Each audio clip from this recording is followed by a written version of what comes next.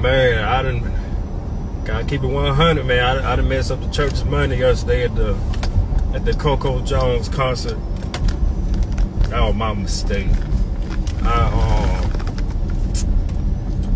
First, person, I thought, man, I, I'm not gonna lie. I had a few drinks in my system.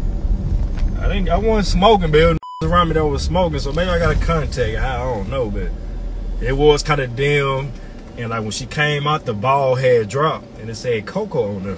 So I'm thinking that's Coco Jones when she first came out. So I'm hearing the song, I'm like, I don't know this song. I don't know this song. I'm just singing to it, snapping fingers and stuff. And she did like three or four songs and walked off the stage. I'm like, bro, I know goddamn well they ain't, but Coco ain't do it like that.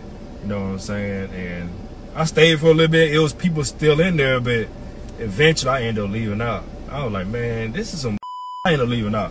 So, long story short, it was Coco on the stage. I'm pissed off. Yeah, she came out on the stage, but I had posted a video on Twitter, which I already took down on my story. And they were like, man, did you stay to the whole show? She came out, she did I see you busy there. Like, for real?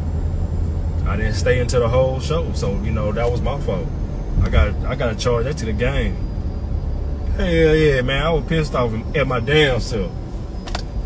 Some told me this. They got left out and came back in and everything. Tour bus still out there. Know, I was just like, man, I, I done messed up. I ain't gonna lie, I messed up.